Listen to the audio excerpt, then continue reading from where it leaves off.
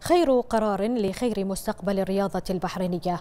وتحويلها إلى صناعة هو القرار الذي ستنتقل الأندية من خلاله اختياريا لتتحول إلى شركات لها منظومتها الخاصة وهيكل مؤسسي تجاري. ومن المؤكد أن يصبح في سجلها مشاريع استثمارية ستعود عليها بالمنفعة المادية من جهة ولتكون الفرصة سانحة أمامها لاختيار أجهزتها الفنية والإدارية بكفاءة وبما يضمن النجاح الرياضي لها من جهة أخرى.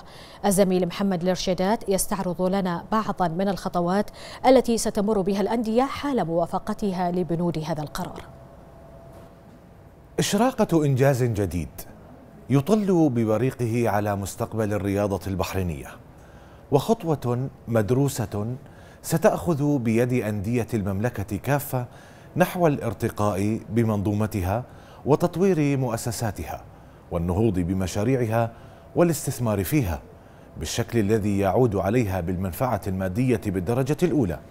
الأمر الذي سيمنحها فرصة اختيارها بدقة لأجهزتها الإدارية والفنية بكفاءة بما يضمن النجاح الرياضي لها بشكل خاص وللمنتخبات الوطنية بشكل عام.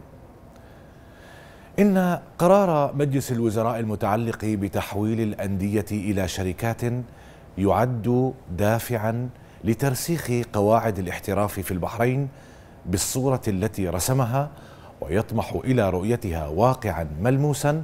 سمو الشيخ ناصر بن حمد آل خليفة ممثل جلالة الملك للأعمال الإنسانية وشؤون الشباب مستشار الأمن الوطني رئيس المجلس الأعلى للشباب والرياضة لتكون الرياضة صناعة في البحرين. مراحل وخطوات ستمر بها الأندية حال موافقتها لبنود هذا القرار.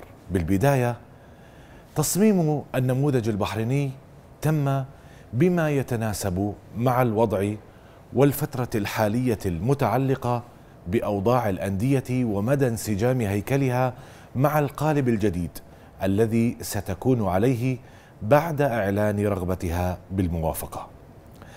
تم طرح القرار ليكون بإمكان الأندية تحديد مصيرها اختياريا وليس إجباريا.